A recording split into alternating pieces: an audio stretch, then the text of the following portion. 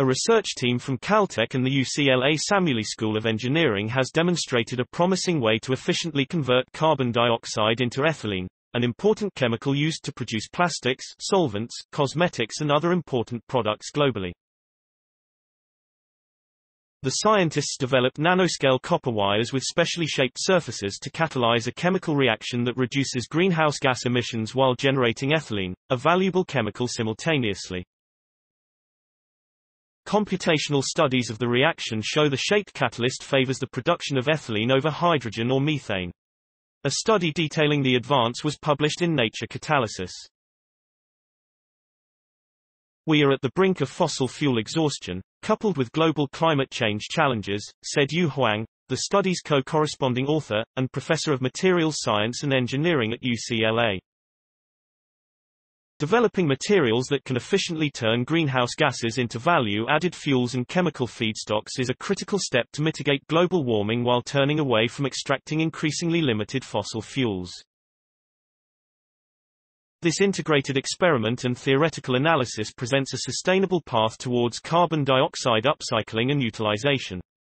Currently, ethylene has a global annual production of 158 million tons. Much of that is turned into polyethylene, which is used in plastic packaging. Ethylene is processed from hydrocarbons, such as natural gas. The idea of using copper to catalyze this reaction has been around for a long time, but the key is to accelerate the rate so it is fast enough for industrial production, said William A. Goddard III, the study's co-corresponding author and Caltech's Charles and Mary Ferkel Professor of Chemistry, M. This study shows a solid path towards that mark, with the potential to transform ethylene production into a greener industry using CO2 that would otherwise end up in the atmosphere. Using copper to kickstart the carbon dioxide CO2 reduction into ethylene reaction C2H4 has suffered two strict. First, the initial chemical reaction also produced hydrogen and methane, both undesirable in industrial production. Second, previous attempts that resulted in ethylene production did not last long, with conversion efficiency tailing off as the system continued to run. To overcome these two hurdles, the researchers focused on the design of the copper nanowires with highly active, steps, similar to a set of stairs arranged at atomic scale. One intriguing finding of this collaborative study is that this step pattern across the nanowire's surfaces remained stable under the reaction conditions, contrary to general belief that these high-energy features would smooth out. This is the key to both the system's durability and selectivity in producing ethylene, instead of other end products.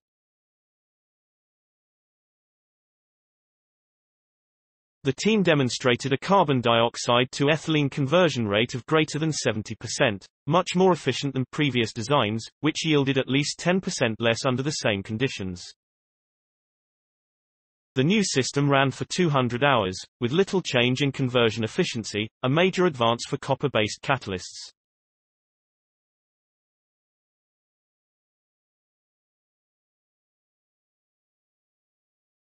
In addition, the comprehensive understanding of the structure-function relation illustrated a new perspective to design highly active and durable CO2 reduction catalyst in action. Huang and Goddard have been frequent collaborators for many years, with Goddard's research group focusing on the theoretical reasons that underpin chemical reactions, while Huang's group has created new materials and conducted experiments. The lead author on the paper is Chungseok Choi, a graduate student in materials science and engineering at UCLA Samueli and a member of Huang's laboratory.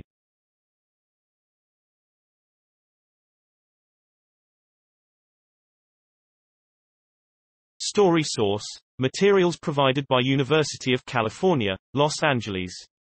Note: Content may be edited for style and length.